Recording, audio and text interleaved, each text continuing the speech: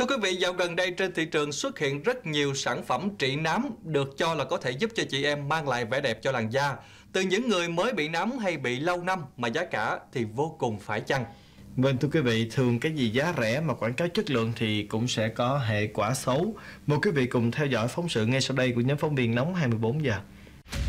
Ảnh hưởng trực tiếp đến sự tự tin và chất lượng cuộc sống. Nám đã trở thành nỗi lo của không ít chị em phụ nữ. Công nghệ điều trị nám hiện nay rất tiên tiến, nhưng đa phần chị em vẫn chọn phương án sử dụng quá mỹ phẩm.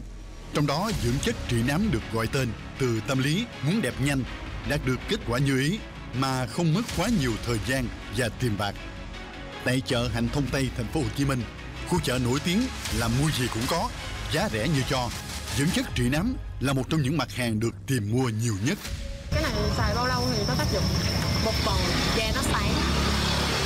Mỗi xích serum có công dụng á là sáng rửa mặt của mình. Với lại nó căng. Collagen là tái tạo da với lại dưỡng trắng. Nó nhiều công dụng lắm. Loại này được ưa chuộng.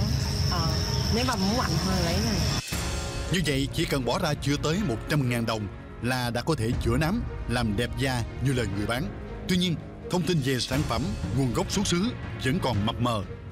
Cái này hàng công ty hay là nước ngoài vậy? Hàng công ty. Nó biết sao nó rẻ không? Nó chỉ nhập nguyên liệu về thôi, còn chai hay gì là ở bên mình. Nó chỉ nhập nguyên liệu. À, còn nếu mà em nhập nguyên con như từ Hàn Quốc về mất có thể đóng thuế nên nó không nhập nguyên nó sẽ nhập từ rồi hết. Liệu những loại mỹ phẩm giá rẻ chưa rõ nguồn gốc thế này có khả năng trị nám? Chúng tôi đã gặp chuyên gia về da liễu để có câu trả lời. Với sản phẩm này tôi đọc vào thì đây là những sản phẩm dưỡng ẩm như là có thành phần hyaluronic acid hoặc là những thành phần glycerol. Đây là chính là những sản phẩm cung cấp cái lượng ẩm, lượng nước ở trên nền da chúng ta. Không hề có một công thức để điều trị nám cho làn da chúng ta và chúng ta nhìn thấy vào đây là nguồn gốc xuất xứ hoàn toàn không rõ ràng nên chúng ta cần phải lưu ý về hiệu quả điều trị và chúng ta phải cẩn trọng về cái việc mà chúng ta sử dụng vì hoàn toàn khi mà người y khoa đọc vào thì không có một cái thông tin về điều trị nám nếu như chúng ta chủ quan sử dụng những sản phẩm trôi nổi trên thị trường như thế này thì thật sự hậu quả không lường Cũng vì tin vào những lời quảng cáo có cánh, những phản hồi tích cực do phía người bán hàng tự đăng tải, mà người tiêu dùng nhận lãnh hậu quả không nhỏ. Một cô gái ở Nghệ An tìm đến bệnh viện da liễu Trung ương với tình trạng da cháy đen, sạm nắm cả mặt. Bệnh nhân được chẩn đoán viêm da tiếp xúc kích ứng, bỏng da mặt do quá chất. Nguyên nhân là do cô mua dưỡng chất trị nám trên mạng về sử dụng. Câu chuyện trên chỉ là điển hình trong vô số những sự vụ liên quan đến dưỡng chất trị nám nói riêng hay mỹ phẩm trôi nổi nói chung.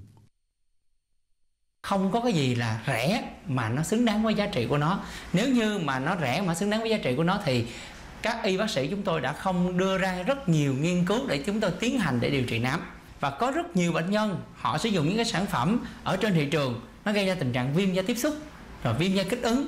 Thậm chí có một số người bị bong lột quá nhiều, làm cho da bị bào mòn, mất đi khả năng bảo vệ ở trên nền da, dẫn đến tình trạng những cái triệu chứng viêm da tổn thương trầm trọng ở trên da. Và có thậm chí có những người bị phỏng da và kể cả những trường hợp bị hoại tử trên da nữa. Khi mà chúng ta sử dụng một số sản phẩm mà gây ra tình trạng ngứa, nổi mề đay hoặc là tình trạng bong tróc, chúng ta cần phải hỏi thăm ý kiến của bác sĩ và ngừng sản phẩm. Và sau đó chúng ta sẽ có những cái hướng theo những chỉ dẫn của bác sĩ y khoa. Để từ đó chúng ta đưa ra những cái hướng giải pháp điều trị hợp lý nhất và cũng như tránh tình trạng chúng ta bị kích ứng dị ứng. Còn nếu như trong những trường hợp mà chúng ta bị phỏng da thì bắt buộc chúng ta phải ngưng sản phẩm liền và đi đến ngay cơ sở y tế để chúng tôi có những giải pháp giúp cho bệnh nhân hồi phục lại làn da. Mỗi người dân khi gặp vấn đề về da cần thăm khám bác sĩ da liễu để được điều trị, tránh tâm lý mong muốn đẹp nhanh mà rước họa vào thân. Về khía cạnh người bán, nếu quảng cáo không đúng sự thật về sản phẩm đang kinh doanh cũng là hành vi vi phạm pháp luật. đối với cái hành vi mà à, quảng cáo gian dối tức là quảng cáo không có đúng cái chất lượng à, tự mình mình thổi phồng cái chất lượng lên không đúng chất lượng đối với việc quảng quảng cáo gian dối này nó nghiêm trọng thì có thể bị à, phạt cải tạo không giam giữ đến 3 năm còn à, đối với cái việc mà không công bố cái sản phẩm là cái mỹ phẩm này à, trước khi mà đưa cái sản phẩm ra thị trường thì à, có thể bị xử phạt vi phạm hành chính từ 20 cho đến 30 triệu đồng cơ quan chức năng cũng nhiều lần triệt phá, bắt giữ các lô hàng nhập lậu, mỹ phẩm không rõ nguồn gốc, không được cấp phép lưu hành. Sắp tới cần có hướng xử lý quyết liệt hơn để chấm dứt thực trạng trên.